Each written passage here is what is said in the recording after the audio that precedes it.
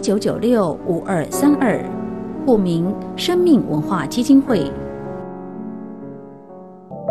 屏东妙云寺、高雄生命书坊联合举办消灾祈福法会，即礼拜弥陀宝忏、护生、蒙山施食，恭请湛山法师、湛江法师、湛同法师共同主法。日期二月六日正月初六星期日上午九点半，地点屏东妙云寺，屏东县万丹乡新安村大兴路一百七十五号。洽询电话零七二二一二三二三零七二二一二三二三。敬邀菩萨参与熏习，同沾法益，共沐佛恩，配合防疫措施参加共修，敬请佩戴口罩。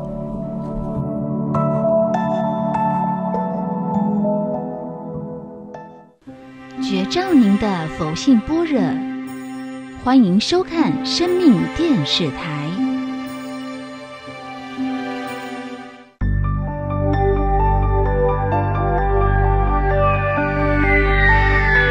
接下来，请收看《修行百颂》。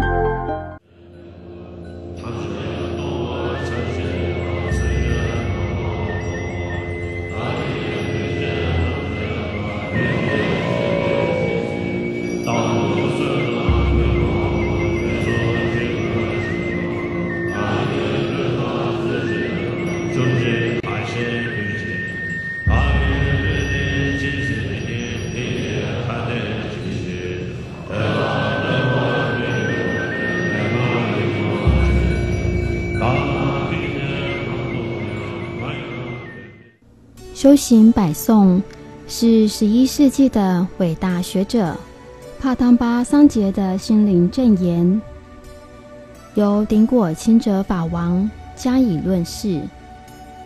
帕当巴停留在西藏和尼泊尔边境的听瑞地区很长一段时间，拥有无数个弟子。有一天，一个亲近弟子在久违之后。抵达听瑞，看到上师如此年迈，而感到非常悲伤。于是他问圣者：“当你离开这个世间的时候，毫无疑问的，你将从一个净土到另一个净土。但我们将会如何？我们能够信任谁？”面对热泪盈眶的弟子帕当巴。教导了修行百颂，修行百颂意义深奥又简明易懂。诚挚认真的修行者将发现，这些寄颂中的所有教导，都是正统佛法修持不可或缺的精髓。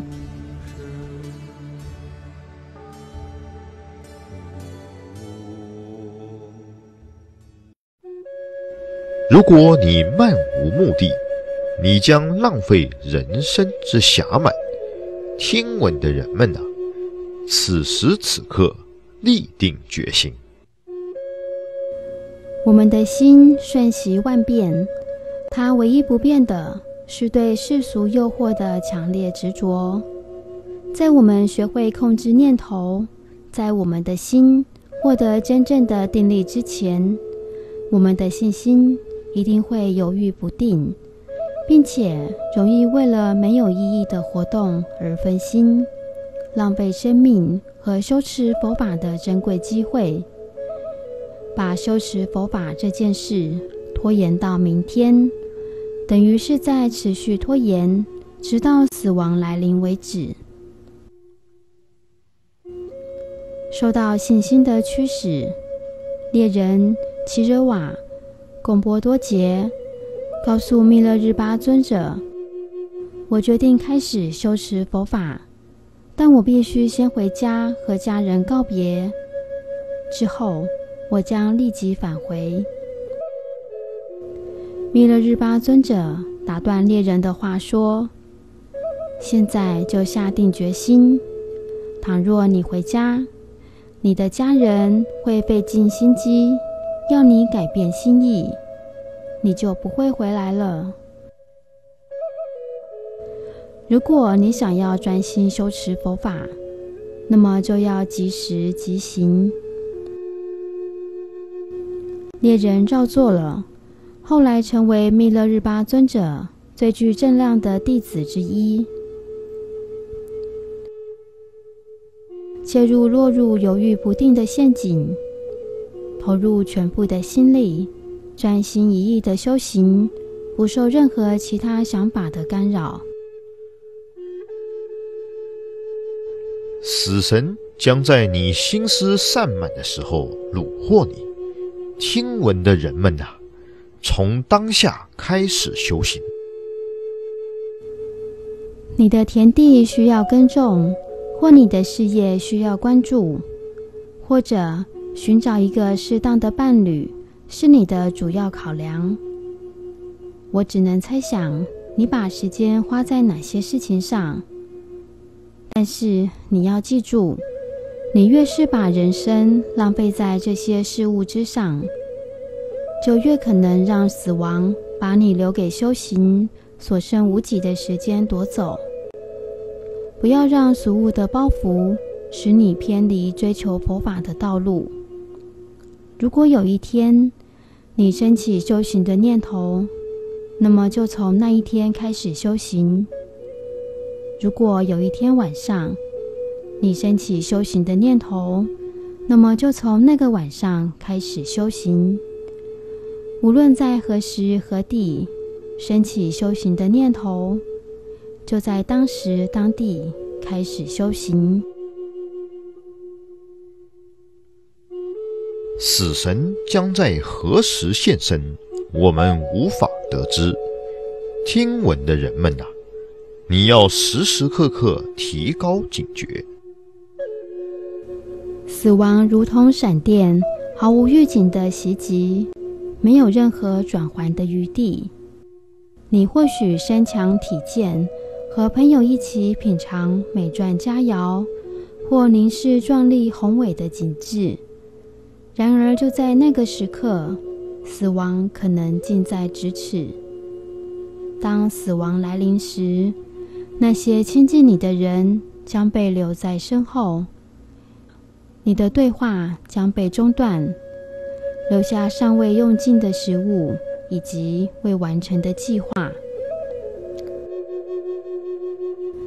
人们突然死亡，遭受意外，被人谋杀，因食用不洁的食物或错误的药物而中毒死亡，在游戏。或运动时受伤，或死于战争，这些事情不是常常发生吗？死亡的威胁总是伺机而动。你应该如同一个旅人，行经到北出没的国家，时时刻刻提高警觉。一个遭受暗杀威胁的政治领袖，绝不会松懈警戒。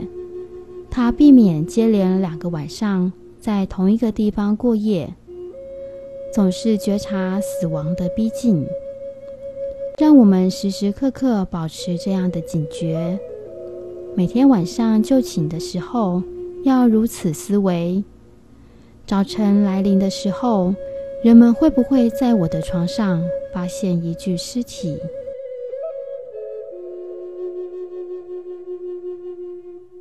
你死亡的那一天，没有人能够护卫你。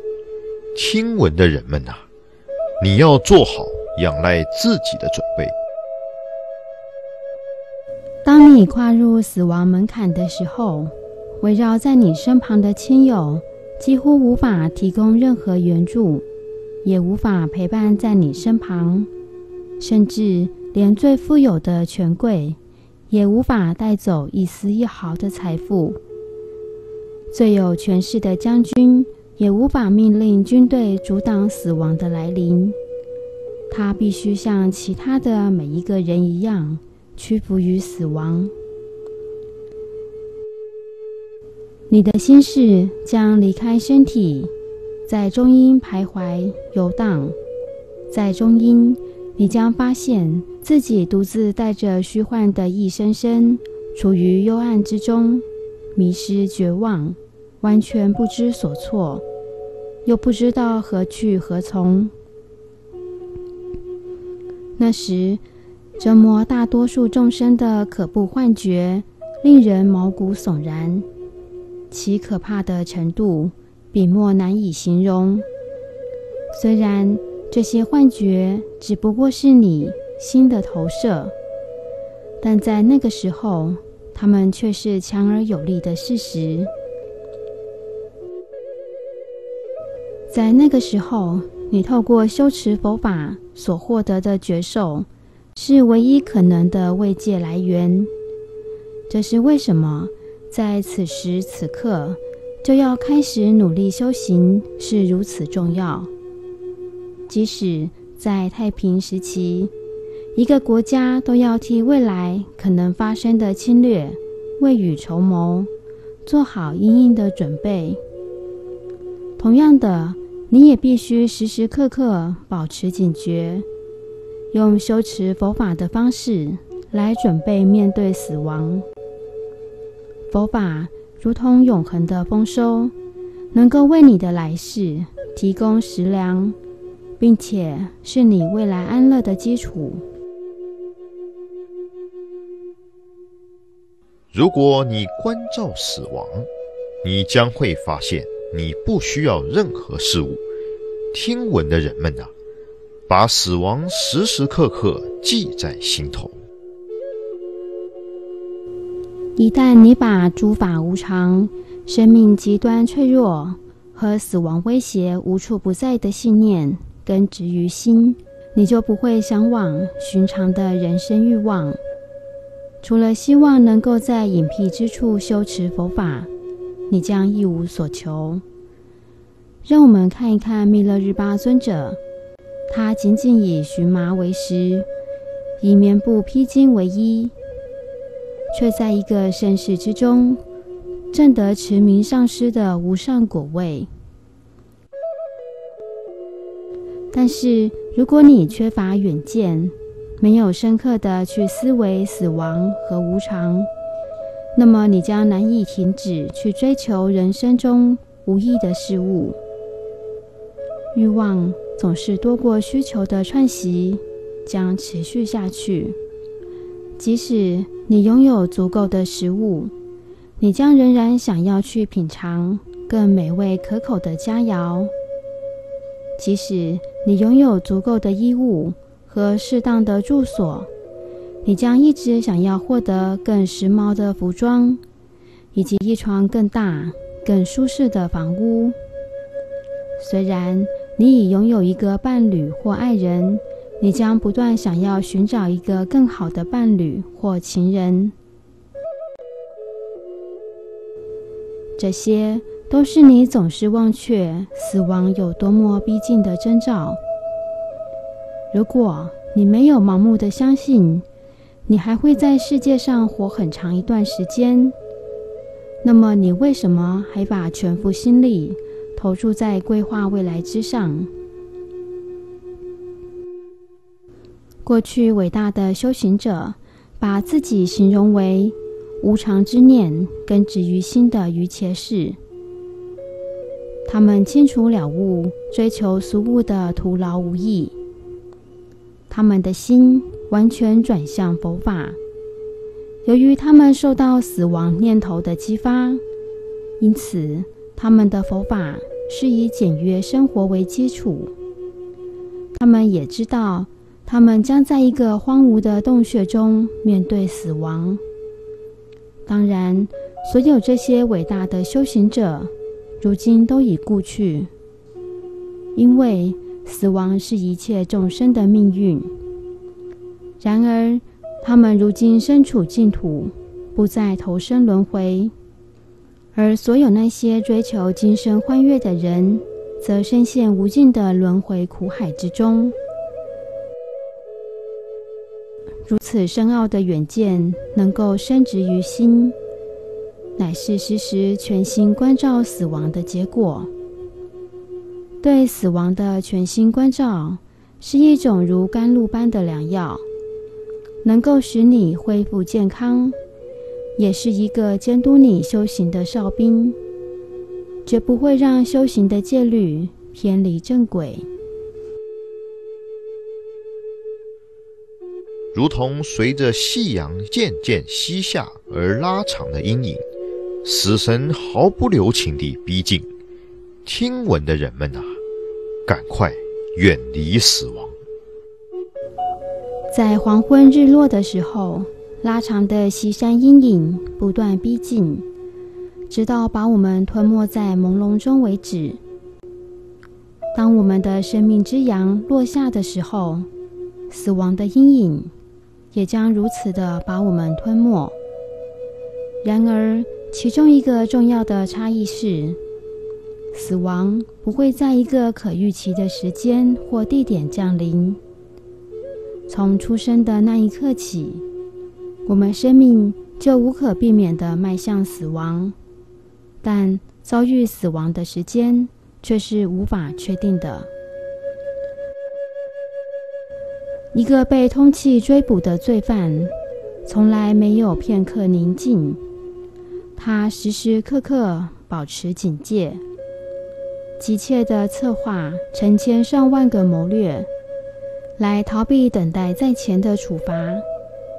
你不会看到他为未来居住的房舍构思规划。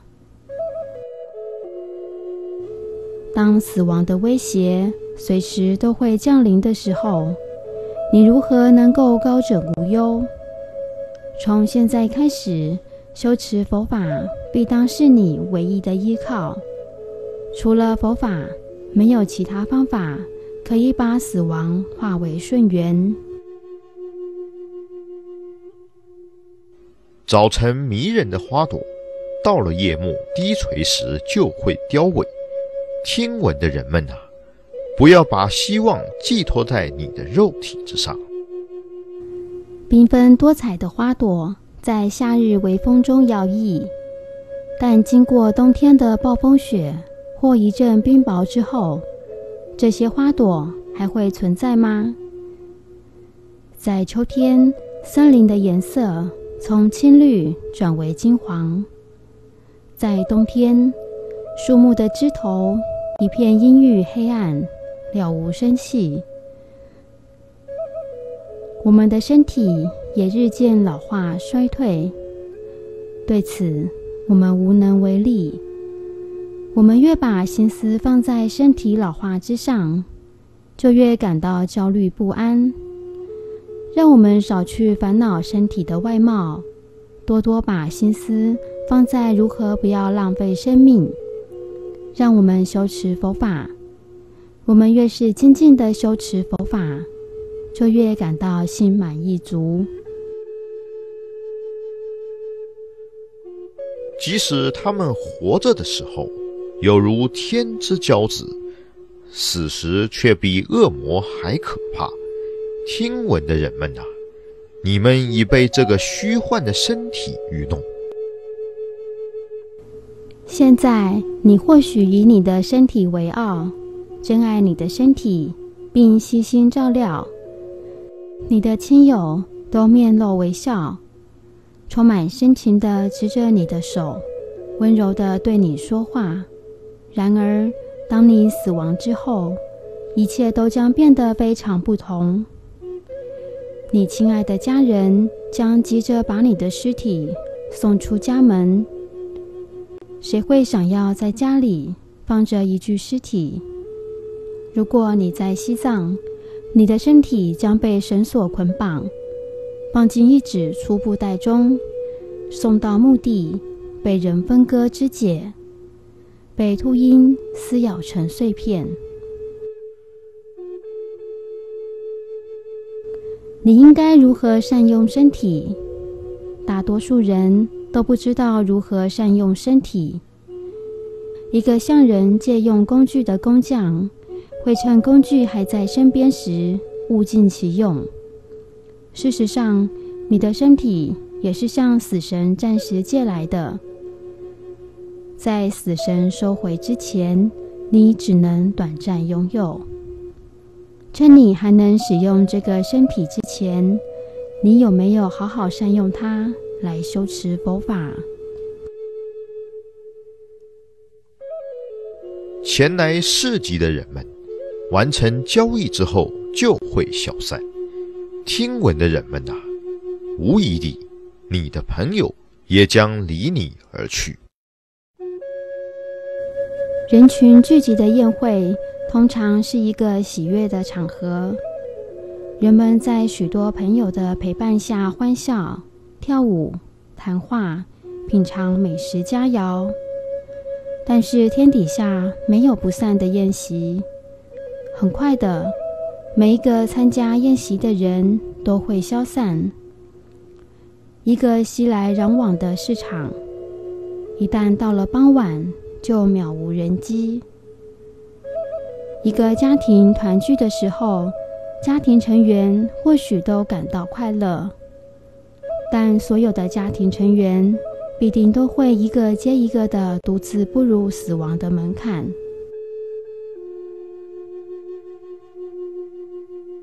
这个由魔术变化出来的稻草人，注定会破败不堪。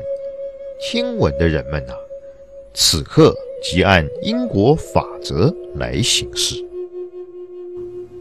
农人在田地树立用来吓退鸟只和野生动物的稻草人，或许只能维持一个季节。风雨很快就会把稻草人吹蚀损毁。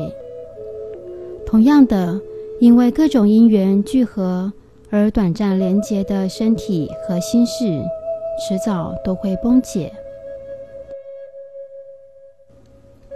当身体和心事到达最后的崩解阶段时，他们会受到疾病和衰老的折磨和毁坏。到了那个时候，无论你如何真切的悔恨，没有及早开始修行。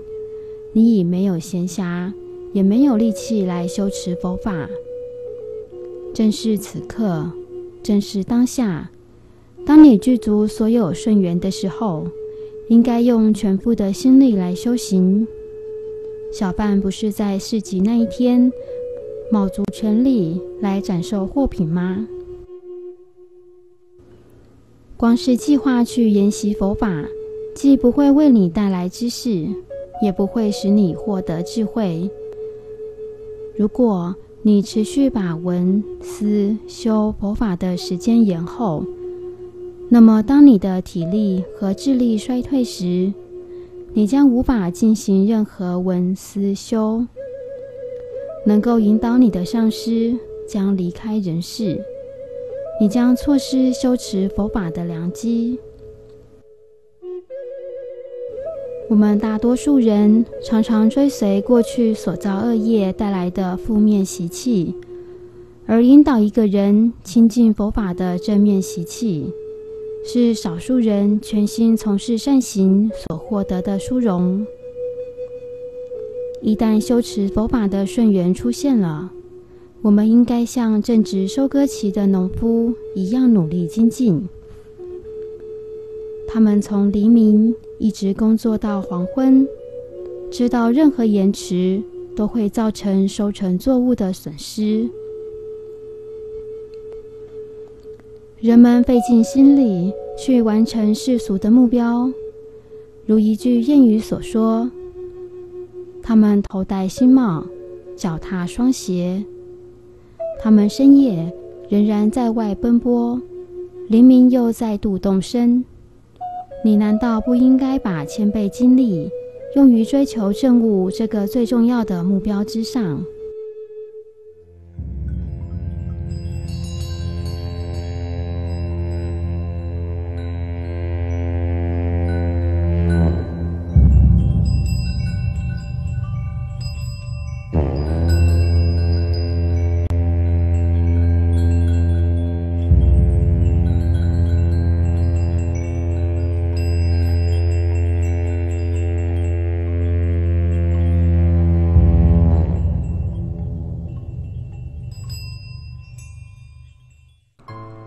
护持台湾燃灯功德会，邮政划拨，户名社团法人台湾燃灯功德会，划拨账号五零三二三八五八五零三二三八五八，银行账号银行代号土地银行零零五，账号零一二零零一二零二六零八。零一二零零一二零二六零八。有关弘扬佛教教义及活动相关之供养僧众、供斋、点灯、慈悲施食、药供烟供。高雄生命书坊举办念佛共修暨佛学讲座，恭请湛江法师、赞同法师领众。日期一月二十七日星期四下午两点，地点高雄生命书坊，高雄市新兴区中山二路四百七十二号七楼。洽询电话：零七二二一二三二三，零七二二一二三二三。敬邀菩萨参与熏习，同沾法益，共沐佛恩。配合防疫措施，参加共修，敬请佩戴口罩。现场备有消灾超荐牌位，欢迎填写。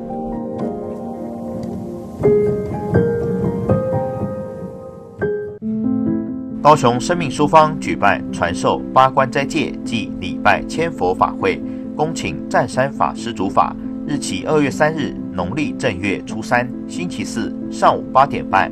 地点：高雄生命书坊，高雄市新兴区中山二路四百七十二号七楼。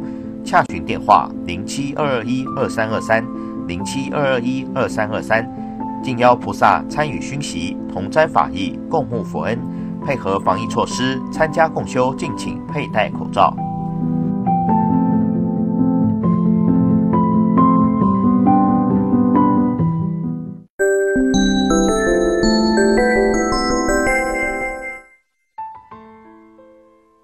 前，在佛陀的居所附近住着一个名叫勾葛的猎人，脾气暴躁，不通情理。一天，勾葛带着一群猎犬到附近的森林去打猎，途中遇见了一位托钵的比丘。勾葛没来由地生起气来，口中不断咒骂着：“一早就先碰到了个光头，真是倒霉。”骂着骂着，勾葛还是带着猎犬们往森林的深处前进。比丘也继续前去化缘的村庄，在回程的路上，什么猎物都没猎到的勾葛，竟又遇上了托钵回来的比丘，这下心情更糟。看到比丘迎面而来，他满腔无从发泄的怒火又熊熊燃烧了起来。今天什么都没猎到，一定是这光头害的。没想到一天来回碰上两次，说不定接下来几天都一起倒霉了。盛怒之下。勾哥当场就对身边的猎犬下令，要他们把比丘吃掉。今天出门打猎，白忙了一场，都是你害的。你这看到就让你倒霉的光头。比丘惊慌地说：“这位先生，我跟您素未平生，无冤无仇，你怎么就突然就要置我于死地呢？”勾哥一心只想将比丘除之为快，情急之下，比丘只得拔腿飞奔，爬到树上。猎犬们不会爬树。于是便围在树下不停狂吠，勾哥也随手抽出了剑，往树上不断戳刺。比丘在树上拼命地左闪右躲，狼狈不堪。一不小心，他的袈裟就从身上滑落了下来，正好当头撞在勾哥身上，看起来就像勾哥穿上了袈裟一样。一旁的猎犬看到穿着袈裟的人，都以为是比丘掉下来了。纷纷扑上去，狠狠地撕咬，勾哥马上就被咬得皮开肉绽。奄奄一息，比丘爬下树来，看到已经断气的勾哥，心里觉得十分难过。他心想：虽然我无心杀人，但这个猎人还是因为我不小心掉落的袈裟而被猎犬咬死。我这样子是否也算犯了杀戒呢？他越想越不安，即刻到了佛陀面前请示。佛陀听了事情的原委，便安慰比丘说：“比丘啊，你并没有过错。那个猎人是因为自己造作恶业而受害，而且他上辈子也同样是个伤害无辜的人。学佛多一点，可以告诉孩子：我虽不杀伯仁，伯仁因我而死的典故，让孩子知道人生无常以及如何去应变。”每个人生下来都有他的一条路走，每个人的人生之路都不一样。但是如果有了坚持的原则与信念，人生之路可能会比较平顺些。无常是佛教的真理，佛陀告诉大众，无常是世间的真相。人的一生从婴儿、孩童、少壮，及至老死，当中无数的悲欢离合、喜怒哀乐，所有的人事都像水面的一些泡沫。而泡沫冒起来又破灭，都在说明没有什么事情能永久掌握而不会改变的。